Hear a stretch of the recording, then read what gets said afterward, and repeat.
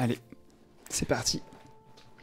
Vous m'avez manqué, je reviens. Alors les vidéos un peu plus personnelles comme celle-ci sont généralement un peu moins vues sur la chaîne que les autres, par exemple quand je vais vulgariser de la technologie ou quand je vais tester un écran. Donc si déjà vous êtes encore là à ce moment-là de la vidéo, je vous remercie parce que vous faites partie des meilleurs abonnés et ceux qui regardaient le contenu, je vais pas dire le moins intéressant, mais on va dire plutôt le plus personnel. Donc en ça, merci beaucoup. Alors j'ai pas pu tourner de vidéos de tout l'été, pas par raison professionnelle, mais par raison de santé, par raison personnelle. J'ai eu beaucoup de choses à gérer, mes soucis de santé ne sont toujours pas réglés et mes soucis à côté non plus, mais rien qui vaille la peine d'être détaillé sur YouTube, donc on va vraiment rester sur du pro aujourd'hui. Le truc c'est que ces deux mois passés à prendre du temps pour moi m'ont aussi permis de prendre du temps pour penser à YouTube, à qu'est-ce que j'allais pouvoir mettre en place pour cette chaîne et surtout qu'est-ce que je pouvais vous préparer pour l'avenir. Et vous allez voir, c'est trop cool parce que vraiment là-dessus, j'ai pas chômé. Alors vous pouvez même d'ailleurs d'ores et déjà le voir, il y a quelques petites choses qui ont changé d'un point de vue image, peut-être aussi d'un point de vue son, vous l'entendez je l'espère. Nouvelle carte son, en fait j'ai racheté celle d'occasion d'un de mes modérateurs, une Steinberg UR22C. Je l'avais déjà par le passé, c'était un coup de cœur que j'ai eu avec cette carte-là, me demandez pas pourquoi. Mais du coup elle a remplacé mon Audiant ID14 Mark II que j'avais avant, que j'aimais beaucoup, hein, qui était très belle. Mais il y avait un truc, avec ce micro-là, mon Baby Bottle SL, il y avait un truc qui faisait que j'aimais pas trop, j'avais pas le feeling que je ressentais avec la Steinberg. Donc j'en ai acheté une, je l'ai posée juste ici sous mon bureau, à côté de mon Zendak IFI signature Meze Classics 99, et comme ça j'alterne entre les deux selon si je suis sur mon ordi ou mon portable. Donc j'ai pas mal travaillé hein, sur et l'image et le son. L'image, c'est qu'on le voit déjà peut-être un petit peu au niveau des reflets, au niveau des lumières. C'est pas un filtre, c'est pas quelque chose que je rajoute du moins avec du post-traitement.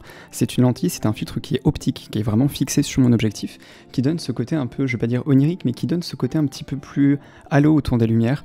On aime, on n'aime pas. Moi, je le mets en permanence sur mon appareil photo. Ça me permet déjà d'avoir des textures au niveau des photos qui sont très cool. Et au niveau du rendu vidéo, j'ai pas besoin de faire de montage, de m'embêter avec des post-traitements. Je trouve le rendu vraiment cool. Et concernant le son, avant de passer au point suivant, là vous ne le voyez pas, pourtant il y a un changement énorme, donc je vais vous mettre en vidéo. Il y a des panneaux acoustiques un peu partout, il y en a 36 disséminés à différents endroits de ma pièce, surtout sur ma porte, c'est le jour et la nuit. Vraiment, alors peut-être que là vous n'allez pas forcément vous en rendre compte en écoutant cette vidéo, sauf si vous écoutez une de mes anciennes vidéos et que vous revenez sur celle-ci. Mais moi, la différence, je l'entends, mais c'est le jour et la nuit. Bah, ne serait-ce que prendre un appel téléphonique dans cette pièce avec le avant-après, ça n'a absolument rien à voir. Donc là, j'ai un confort acoustique qui est vraiment génial. Alors attention, quand je dis confort acoustique, je suis pas acousticien. Il y avait sûrement bien mieux à faire pour optimiser la pose de ces panneaux. C'est pas grave, j'ai essayé d'alterner entre quelque chose qui était pratique, efficace, mais qui aussi pouvait avoir un petit peu de gueule. Bon après j'avoue les bokens d'entraînement accrochés au mur, ça ça n'a rien à voir avec le son, c'était pour le plaisir personnel. En même temps je reste sur ma fin avec la dernière saison de Demon Slayer là. Non faut attendre la trilogie au ciné. Ça va être long Concernant YouTube, il y a un modérateur qui est arrivé, donc euh, qui était déjà un modérateur sur mon Discord, qui a pris le relais pour la modération sur YouTube et qui va passer plusieurs fois par semaine pour euh, trier et lire les commentaires parce que essentiellement vous êtes cool. Vraiment, vous êtes cool. Surtout si, comme je vous le disais en intro de la vidéo, vous êtes encore là à ce moment de la vidéo, c'est que généralement vous faites partie un petit peu de la gamme premium, hein, des viewers, des abonnés, de ceux qui regardent du contenu et ceux qui s'intéressent au contenu du créateur. Mais il y a aussi régulièrement des commentaires assez toxiques, assez malveillants. Et pour ma santé mentale, j'ai préféré prendre un modérateur pour qu'il fasse déjà un petit tri. Donc comme ça, ça me permettra moi de passer sereinement et d'avoir moins de trucs poubelles un peu à gérer à côté. Les miniatures également ont pas mal changé, vraiment pas mal changé. J'ai donné un petit effet, ce genre de transparence. Alors surtout si vous regardez YouTube avec un fond blanc. Ah oui, je sais, il y a des gens qui regardent YouTube avec un fond noir, mais il y a aussi des gens qui regardent avec un fond blanc.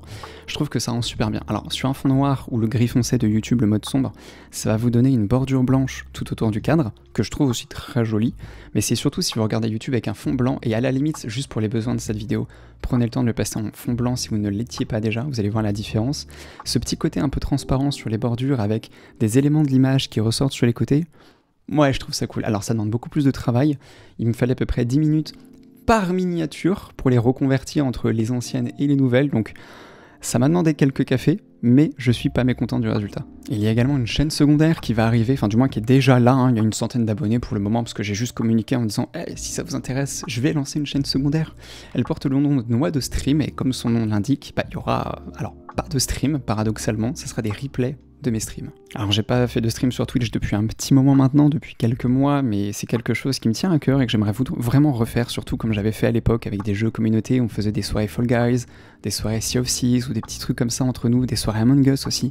Franchement, on s'était hyper bien marré et du coup, j'aimerais bien refaire ça un de ces quatre. Donc, ah, les soirées Minecraft aussi. Oh, il y en a eu quelques-unes cette année, c'était épique. Je ne savais pas qu'il fallait pas mettre un lit dans le Nether par exemple. C'est des abonnés en stream qui m'ont dit de le faire et avec les conséquences que ça a eu, vous en doutez bien. Mais du coup, j'ai pas regardé ce replay depuis un petit moment, mais je pense que mon micro a saturé pour la première fois de sa vie tellement j'ai hurlé fort quand c'est arrivé. Non, ça m'a téléporté à toi! Non! Non, je suis mort! Non! Non! Putain! Non! Non! Mais putain! Je suis mort dans les flammes! Mais putain! Mais putain! Non Il y a également un format hebdomadaire, du moins je vais essayer de le rendre le plus hebdomadaire possible, ça va dépendre euh, de ma santé, on parle déjà dans une autre vidéo sur euh, mes céphalées chroniques et mes migraines, euh, donc je vais pas y revenir là, surtout que c'est une vidéo qui dure 3 quarts d'heure, hein, donc il y a de quoi faire. Mais j'aimerais bien mettre en place un format qui s'appelle le zest, noix de citron, zeste, zeste de citron, voilà, toi-même tu sais, t'as compris le jeu de mots. Mais c'est un format hebdomadaire qui sera publié tous les dimanches en début d'après-midi à peu près, dans lequel je reviendrai sur l'actualité tech de la semaine. Donc c'est des vidéos qui sont essentiellement en voix off, il y aura juste un petit face caméra au début pour l'intro pour dire bon ben voilà, c'est telle date, on va parler de tel et tel sujet, bim, voix off, et comme ça c'est plus facile à produire pour moi du contenu qui quali, je me concentre que sur le son, que sur mon montage et pas du tout sur le face caméra. Dernier point, j'ai également passé pas mal de temps à la création de ce document. Donc vous voyez, c'est un document qui fait 17 pages, qui est un Google Doc accessible gratuitement dans la description de chacune de mes vidéos. Là, je vous montre très brièvement dans son entièreté. En gros, il y a des chapitres dans lesquels je vais recommander des produits ou des accessoires ou des petites choses. Par exemple, si on revient au tout début, on voit qu'on a un sommaire où je vais parler de Cybertech, d'Amazon, mes coups de cœur, mon Tipeee et surtout les produits à vendre en occasion. Pourquoi? Parce que du coup, il y a pas mal de choses et pas mal de références qui varient beaucoup. C'est déjà un format que je mettais en place sur mon Discord dans un chat spécial que je mettais en top écran, mais pour ça, il fallait rejoindre le Discord, donc créer un compte Discord, s'abonner, voir le chat, etc. Bref, là, ça me permet d'avoir un lien où à chaque fois, je vous dis, bah, telle référence, la fiche technique brièvement c'est ça, et entre parenthèses, je vous dis bah, pour quel usage il est dédié, est-ce que c'est par exemple optimiser console pour du gaming compétitif, pour du pro, de la simulation, etc. Donc il y a une partie pour Cybertech, puisqu'encore une fois, hein, je le répète, mais c'est grâce à eux que cette chaîne peut produire autant de contenu, et aussi via Amazon, avec des liens qui, je le rappelle, là aussi sont affiliés. Donc c'est ce qui permet l'affiliation de pouvoir financer un petit peu eh le Discord Nitro, de financer un petit peu l'hébergement de sites internet, etc. Et donc là, pareil, c'est qu'elle est classée par catégorie. Il y a les dalles TN, les dalles VA, les dalles IPS, où il y en a beaucoup, les dalles IPS ou VA avec du mini LED, et ensuite les dalles OLED. Si on va un petit peu plus bas, on a aussi des sièges de bureau, sièges plutôt ergonomiques hein, d'ailleurs, avec différentes tranches de prix. Je crois qu'on va commencer de 200 euros jusqu'à 1700 euros, hein, histoire de viser très large. Un système pour mettre des bureaux électriques. Il y a aussi des accessoires, par exemple des petits câbles, des micros, euh, des écrans USB, un onduleur, euh, des bras d'écran, bref, il y a plein plein de trucs. Mes coups de cœur, alors ça, ça va varier avec le temps. Et en gros, pour les coups de cœur, c'est vraiment des écrans qui m'ont vraiment tapé dans l'œil, j'insiste là-dessus, il n'y a pas du tout de sponsor pour ça, c'est vraiment mon avis qui est personnel, où à chaque fois je rajoute. Donc une photo du produit, le lien, mais surtout un petit descriptif de pourquoi est-ce que je trouve ce produit intéressant, et histoire d'être pertinent, je varie. Par exemple là, c'est un écran Core qui est dans les 200 euros, ensuite c'est un écran MSI qui est là vraiment dédié pour du gaming en 1440p, Ensuite, on va y avoir de l'Alienware qui sera très compétitif en Fast IPS 280 Hz avec de l'HDR 600. Et enfin, on va avoir du premium avec une dalle 32 pouces 4K de Samsung.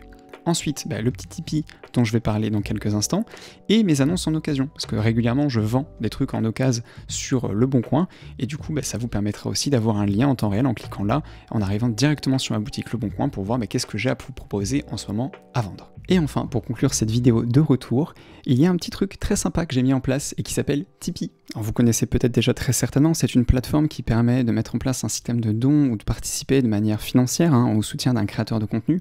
J'ai mis cette plateforme en place pas pour être indépendant financièrement, parce que j'ai déjà un travail à côté, un travail que j'apprécie beaucoup et que je souhaite conserver. Hein. Notre citron, pour l'instant, est une passion passion travail entre guillemets. Euh, moins de 30 000 abonnés, on vit pas hein, de sa chaîne. Hein. Même 100 euh, 000 abonnés, je pense pas qu'on puisse vivre de sa chaîne, mais ça serait déjà un premier pas d'avoir les 100 000. Mais déjà, les 30 000, je serais content. Le truc, c'est que ce que je veux, moi, c'est que mon site internet noixdecitron.tech reste comme il est aujourd'hui, c'est-à-dire gratuit et sans publicité. Sauf que, bah, pour faire ça, il faut de l'argent. Et l'argent, pour l'instant, je l'investis de ma poche. Idem pour l'abonnement Nitro du serveur Discord qui me permet d'augmenter la qualité audio, de personnaliser le serveur, de pouvoir mettre des fichiers plus lourds. Euh, par exemple, quand il y a un abonné qui dit bah voilà, j'ai un problème avec mon PC qui s'allume plus, il faut qu'on s'échange des vidéos. Bah ouais, mais quand les vidéos sont limitées à 25, 25 mégaoctets, c'est compliqué. Donc avec les premiums, on passe de 25 mégas à 100 mégas, etc. Donc c'est plein de petites choses qui sont beaucoup trop chères pour ce que c'est. Mais quand vous êtes créateur de contenu et quand vous voulez faire vivre une communauté, ben, le Discord Nitro il devient quand même pas mal indispensable. Et donc je remercie par avance tous les tipeurs actuels ils sont deux. Mais les tipeurs à venir, donc je mettrai un petit écran, un petit écran de fin pour leur dire merci avec euh, leur pseudo, parce que c'est grâce à eux que ça va pouvoir financer et le site internet et le fait qu'il n'y ait pas de publicité sur le site internet, ainsi que du coup l'abonnement Nitro du Discord. Et en contrepartie, hein, pour les dons, donc soit c'est de manière ponctuelle, soit c'est mensuel, mais du coup si vous faites des dons de manière mensuelle ou un bon don de manière ponctuelle, c'est pareil, pour moi c'est pareil, je vous remercie dans les deux cas, ça vous donne aussi un statut euh, particulier sur mon serveur Discord avec un statut donateur qui vous donne accès à un petit carré VIP dans lequel je partage en avance, eh bien, soit des petites annonces, soit des questions, des sondages à la communauté, genre tiens, j'aimerais mettre ça en place, tiens, j'ai fait tel réglage audio, qu'est-ce que vous en pensez?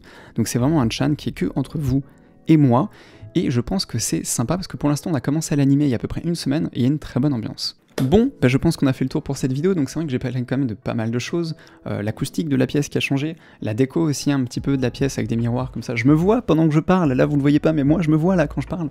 C'est très pratique. Euh, j'ai parlé du coup le filtre que j'ai rajouté sur mon appareil photo pour se donner un côté un peu plus halo autour des lumières, autour des néons, ce qui rend trop bien. Avec le petit nom noix de citron qui est derrière.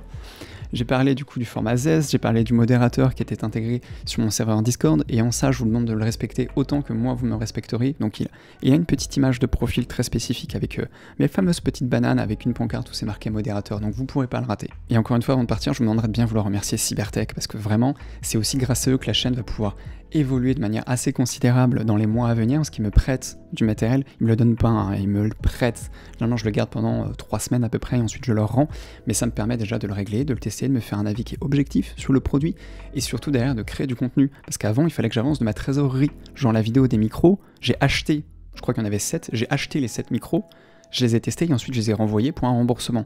Sauf qu'il y a toujours cette petite crainte du bah ouais, imagine qu'il y a un problème avec le colis, imagine qu'il y a un problème sur la livraison, imagine que j'ai une panne avec ma bagnole, comme j'ai eu il y a pas longtemps, parce que le toit fuit, donc elle prend l'eau, donc la batterie prend l'eau, donc la voiture ne s'allume plus. Enfin bref, avancer une trésorerie, quand elle est, elle est confortable, ça va. Mais quand on est dans ma situation, ça va pas. Donc je vais arrêter de faire ce genre de petits trucs. Et en ça, je remercie beaucoup Cybertech de participer au développement hein, de cette chaîne Noix de Citron et de me permettre de me prêter du matériel de manière régulière tous les mois. Là, il va y avoir des trucs de banger avec des écrans Samsung, ça va être génial. Il va y avoir du Courui, il va y avoir du MSI. Vraiment, il va y avoir des trucs super cool. Donc dites-leur merci parce que c'est vraiment, et j'insiste là-dessus, c'est grâce à eux que cette chaîne va pouvoir évoluer. Sur ce, je pense qu'on a fait le tour. Et du coup, je vous dis à la prochaine pour une nouvelle vidéo. Salut tout le monde.